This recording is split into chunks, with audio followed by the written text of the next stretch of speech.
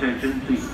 To facilitate track maintenance and renewal work from 2nd March to 1st April 2018, train services between Tuas Link and Waterridge and between Tanah Merah and Changi Airport will end at 11 p.m. on Friday and Saturday night and will start at 8 a.m. on Saturday and Sunday morning.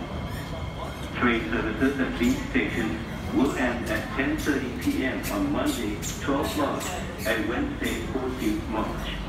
Please approach our passenger service center for more information. 各位乘客请注意，为了进行轨道维修和更新工程，从二零一八年三月二日至四月一日，每逢星期五和